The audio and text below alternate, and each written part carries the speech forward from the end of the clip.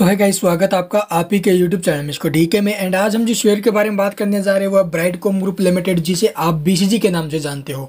तो bright com के अंदर आज के दिन आपको लगभग आप यहाँ पर देखोगे, दो परसेंट के आसपास करेक्शन देखने को मिला है। तो ये गिरावट क्यों हुई है? नीचे में स्टॉक ने बत्तीस रुपये का लेवल टच किया है और यहाँ पर आप देखोगे, बत्तीस चालीस पर स्टॉक हमें हाल फ़िलहाल देखने को मिल रहा है। आज का जो इसका हाई रहा है, वो आप देखोगे, तैंतीस रुपये पिचासी पैसे प्रीवियस क्लोजिंग थी तैंतीस रुपये बीस पैसे की। तो ये स्टॉक के अंदर जो करेक्शन चल रहा है वो आप देखोगे भाई थोड़ा दबाव है इसके ऊपर किसका? एक तो आप देखोगे मार्केट का दबाव चल रहा है। आपको पता है मार्केट के अंदर भी क्रैश आया हुआ है।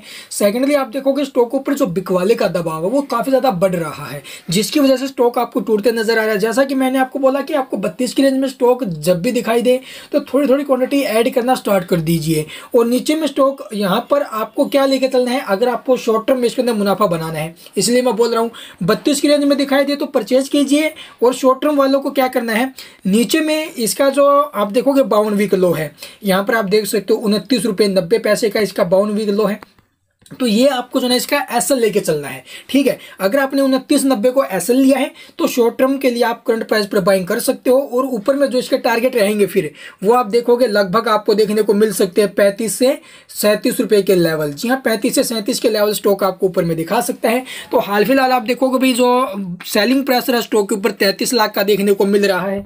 बाइंग प्रेशर आप देखोगे जो बाइंग ऑर्डर लगे हुए हैं, चौदह लाख इकसठ हज़ार क्वांटिटी और आज का जो डिलीवरी पोजिशन है वो आप देखोगे छत्तीस परसेंट डिलीवरी उठाई गई है। और वहीं आप देखोगे ट्रेडेड क्वान्टिटी उनहत्तर लाख, उनासी लाख के आसपास, और जो डिलीवरेबल क्वान्टिटी है, उनतीस लाख के आसपास आपको देखने को मिल रही है। तो ऐसे में करंट प्राइस पर बाइंग करना एकदम से आपको सारे पैसे नहीं लगाने। भाई आपको थोड़ी थोड़ी क्वांटिटी इसके जो है ऐड करनी चाहिए। उसके साथ साथ आप देखोगे, जो ये पुलिस कंप्लेंट वाला केस है ना, वो भी अभी तक कोई उसके ऊपर भी बड़ा डिसीज़न नहीं आया है। उसके ऊपर भी कोई बड़ा, आप देखोगे, उसका भी कोई अभी तक फैसला नहीं लिया गया जैसे उसके ऊपर भी बड़ी अपडेट आएगी, उसके ऊपर भी हम जो है आपको डिटेल में बता देंगे। लेकिन अब मेन बात आती है, क्या स्टॉक के अंदर फिर से तेज़ी बन पाएगी? जैसा कि स्टॉक का बाउंड भी खाई आपको देखने को मिल रहा है, एक सौ पैसे। जो इसने 2021 में दिसंबर में लगाया था।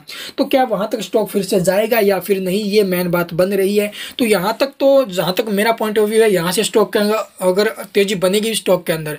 इस लेवल से अगर आप स्टॉक को उठा रहे हो, ठीक है, अच्छी बाइंग कर रहे हो तो स्टॉक आपको फिफ्टी तक जाते नज़र आ सकता है। जो इसके क्वार्टर रिज़ल्ट आ रहे हैं फंडामेंटली कैसा स्टॉक है, उसी बिहेव पर हम सोचें। तो स्टॉक आपको पचास रुपये के आसपास जाते नज़र आ सकता है, जो कि इसकी काफ़ी अच्छा लेवल रहेगा ऊपर में।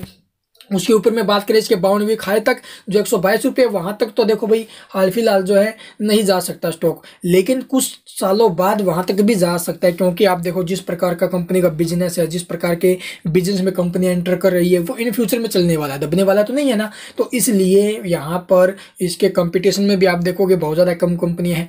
तो एज ए लॉन्ग टाइम के लिए स्टॉक बेस्ट रहेगा। लेकिन यहाँ पर जो उस कंपनी के अंदर जो चल रहा है ना गेम चल रहा है, जो हाल फ़िलहाल जो चला हुआ है पुलिस कंप्लेंट हुई है, उसके ऊपर भी आपको डिटेल में बताया कि क्या था वो जो मामला था, उसके ऊपर। तो जैसे ही पुलिस कंप्लेंट से रिलेटेड कोई भी अपडेट आएगी, वो भी आपको जो ना अभी बता दी जाएगी, ठीक है? आई होप आपके सारे डाउट क्लियर होंगे स्टॉक को लेकर। अगर फ्रेश एंट्री लेने के बारे में सोच रहे हो तो ये स्ट्रेटेजी अपना जो मैंने आपको बताई है। And thank you for watching the video